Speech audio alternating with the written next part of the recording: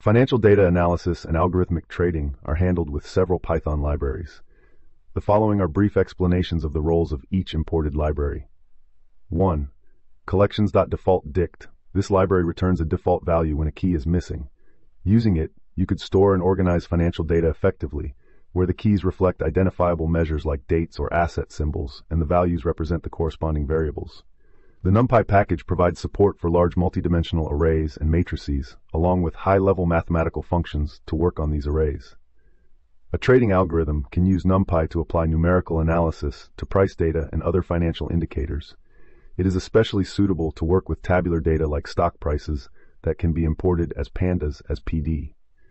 In order to prepare data for trading decisions, pandas can be used to manage time series data, clean data, calculate statistics, and perform other tasks. A plotting library, matplotlib.pyplot, is used for making a wide variety of graphs and charts. Trading algorithms can use it to visualize financial information, such as stock price trends, indicators, or even the performance of trading strategies. It is a function in the SciPy library, which is used to do scientific computing and technical computing. In trading, the argrel extrema function helps identify local maxima and minima in price data, indicative of potential turning points or support and resistance levels in price data. 6. Statsmodels.nonparametric.kernel regression kernel reg. This submodule from StatsModels provides non-parametric kernel regression functionality. Trading could use this method to fit a smooth curve to price data to identify trends without assuming the curve has a specific parametric form. Yahoo Financials Yahoo Financials. This module gets financial data from Yahoo Finance. The platform allows you to access a huge amount of financial data, including stock prices, financial statements, and other market data for analyzing and deciding what to do with your portfolio. The code is intended to set up a computer environment with all the tools necessary for developing algorithmic trading strategies. In this context, we mean retrievals, manipulations, statistical analysis, and visualizations of data. Despite the code block's lack of any specific strategy, it provides the libraries that support the development of such strategies. This code snippet appears to define variables for a date range and a stock identifier intended for algorithmic trading. The stock data should be analyzed or traded over a period from 2017-001 to 2017-1231, which is the specified start and end dates. As the stock code variable, Facebook Inc. is set to FB, the ticker symbol of the stock. Within the specified date range, the trading algorithm would perform operations such as data analysis, trading signals, or actual trades in this stock symbol. The purpose of this code is to establish the fundamental parameters for a trading algorithm, the targeted time frame, and the specific stock being traded. Variables will eventually be used in the code to fetch historical data, perform financial analyses, and backtest trading strategies. For any trading system focusing on stock markets, these parameters are crucial inputs for evaluating historical performance and executing real-time trades. For algorithmic trading, preprocessed data is a Python function defined in the provided Python code. There are three parameters in this function, start date, end date, and stock code, which specify the time range and stock type. The primary objective of this function is to retrieve historical stock prices from a financial data service, in this case Yahoo Financials, within a specified date range for a given stock. Fetchings include a full range of financial information, including daily stock prices, opening, high, and low prices, as well as adjusted closing prices. After obtaining the data, it is organized into a pandas data frame, a data structure that simplifies the manipulation and analysis of tabular data in Python. By selecting important columns from the raw data and rearranging them, the code first gets a better idea of what data is important. A better readability and conformity with common financial data standards is achieved by renaming the columns.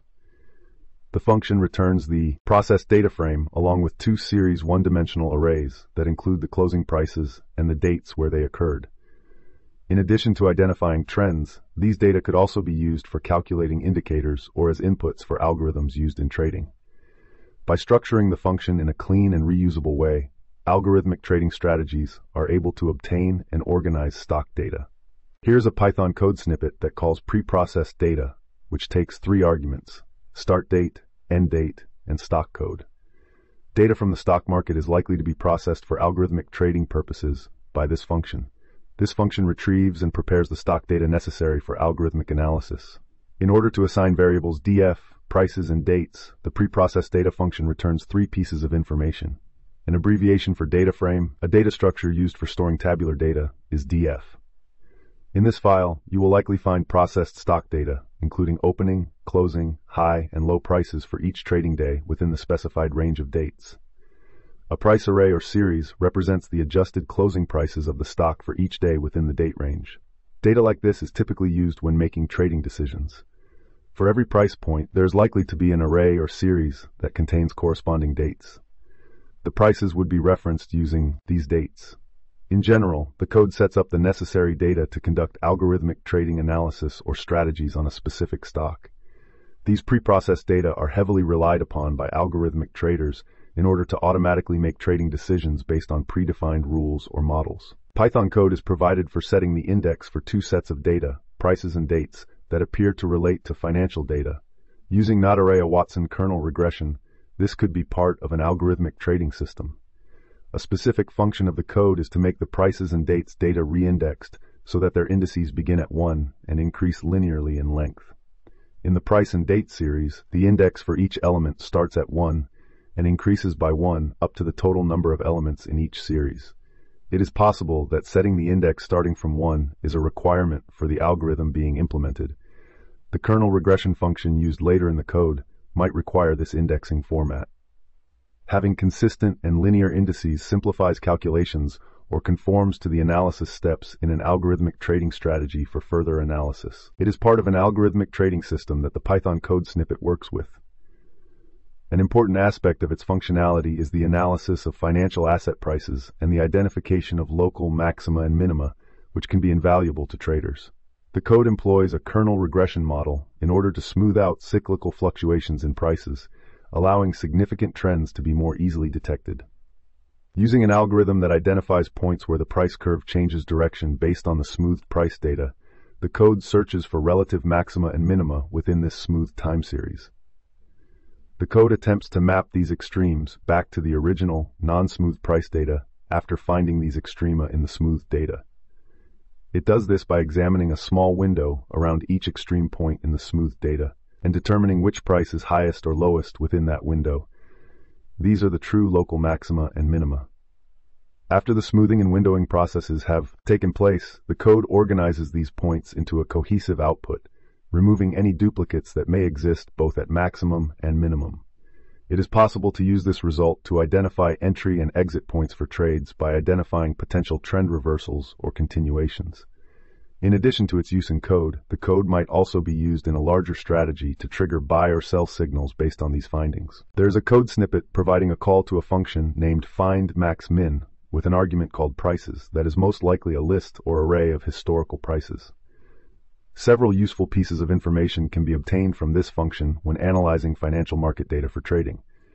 Possibly, smooth prices contains smoothed versions of the price data to remove noise and make trends easier to identify. There are various techniques available for smoothing, including moving averages and other algorithms. Variables smooth prices max indices and smooth prices min indices likely represent the positions of the smooth price indexes within the list of local maxima and minima.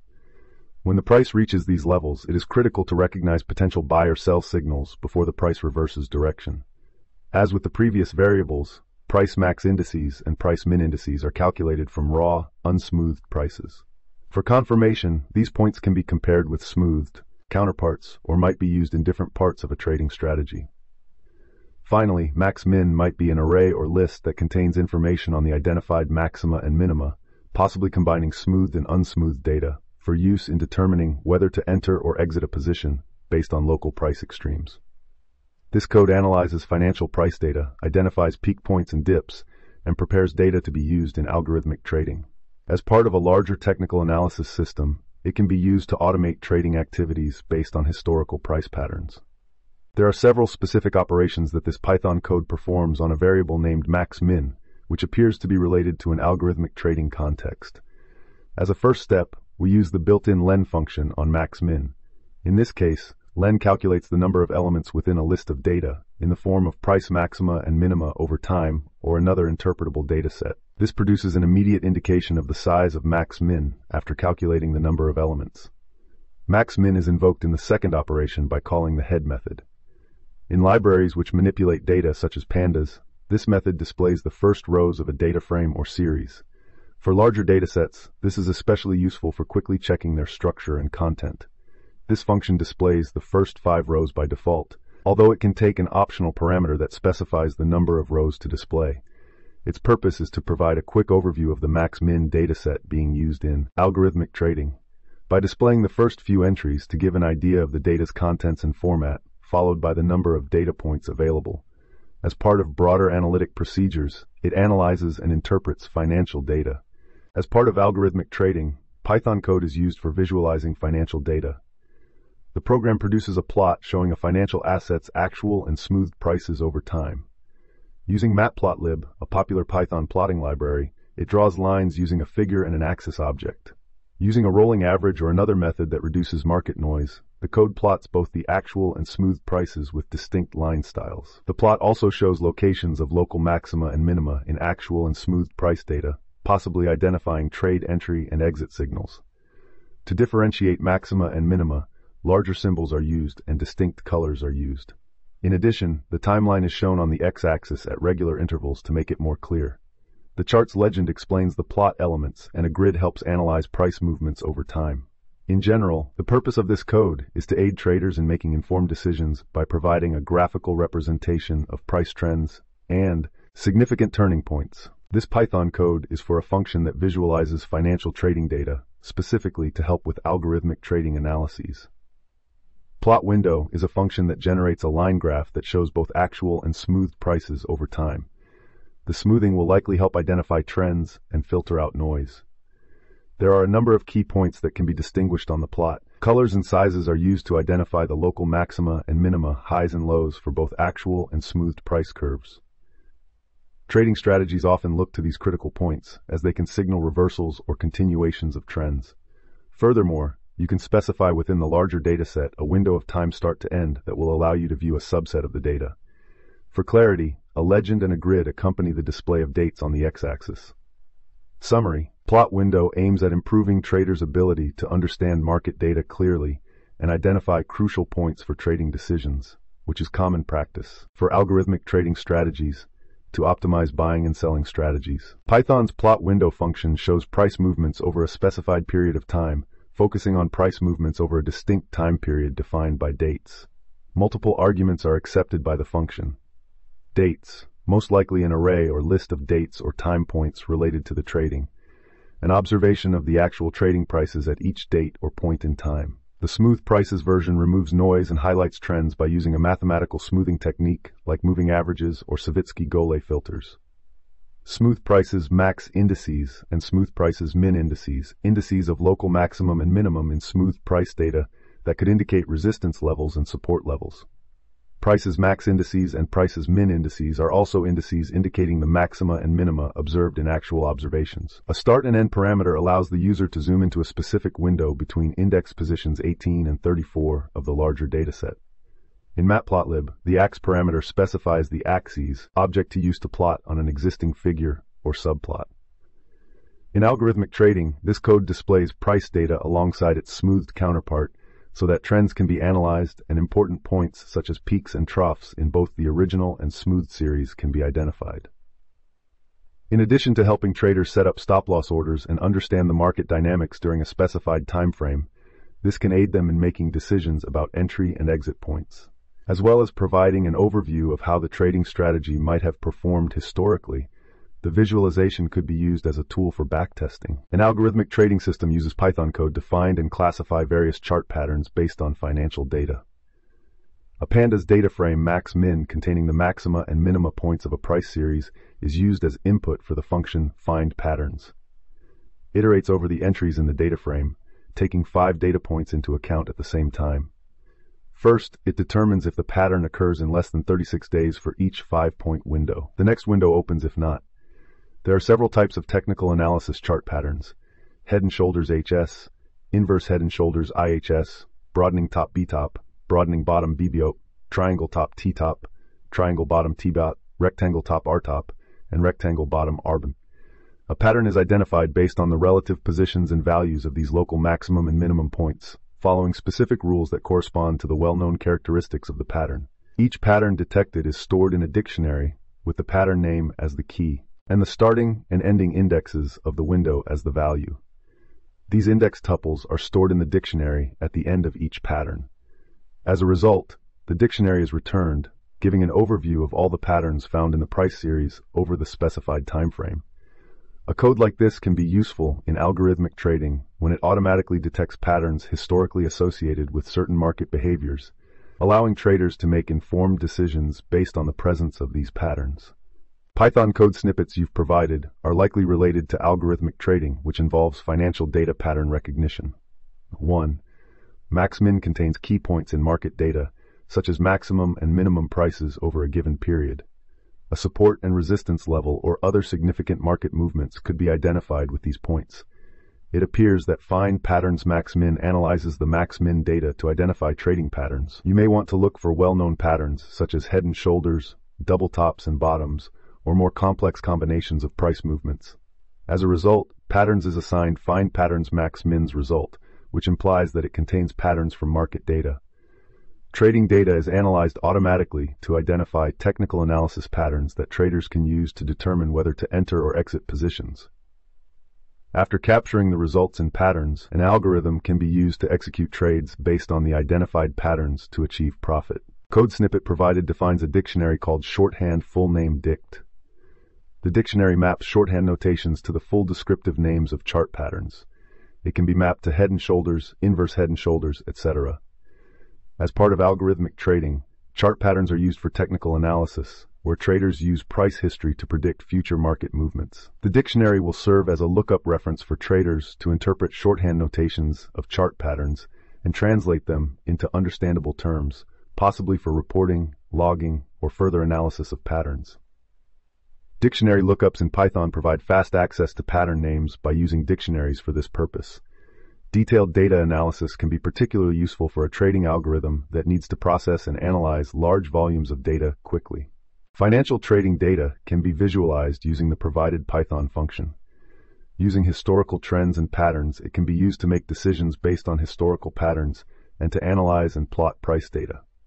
When called, the function takes several arguments including actual and smoothed price data, local maxima and minima indices, a collection of identified patterns along with a dictionary that maps shorthand pattern names to full descriptions. This function prints out the name of the pattern and how often it occurred for each pattern identified in the data. This function creates a graphic display of these patterns using subplots. A pattern is plotted over a certain date range for both the original price data and the smooth price data. For each individual subplot, it uses a helper function called plot window. It is possible to visualize when and how these patterns occurred along the provided price data timeline when the function presents the resulting figure to the user. By observing and analyzing the presence and frequency of such patterns, traders can make informed decisions. It provides visualization capabilities for stock price data points by using the Python function visualize patterns. A few parameters are added to the formula, Dates, the specific timestamps or dates for which data is available. Pricing, raw trading prices according to the provided dates. It likely removes noise and short-term volatility for better analysis, whereas smooth prices is a smoothed version of the price data. A smoothed price index can be determined as the indice's position in the array of data where the smooth price reaches its maximum. The smooth prices below local minima values are called smooth prices min indices. Price max indices are similar to smooth prices max indices, but for raw, unsmooth price data. For raw price data, price min indices is similar to smooth prices min indices. Potential trading patterns identified in price data can be used as inputs for trading decisions. The shorthand full name dict is a dictionary that translates shorthand pattern labels into their full descriptive names, thus making it easier to recognize patterns and interpret them. This function creates a visual representation of the price data, its smoothed counterpart, and the patterns identified against the temporal axis. Visualizations would assist traders and algorithms in identifying and understanding significant price movements and trading signals, providing insights that can be used to generate trading strategies. This article does not detail the specific methods of visualizing price data, but it would generally require plotting the price data and highlighting critical events such as highs and lows. To summarize, Visualize Patterns appears to be a tool for graphically analyzing stock price movements and algorithmically identified patterns, facilitating a more intuitive understanding of market behavior over time, which is essential to algorithmic trading.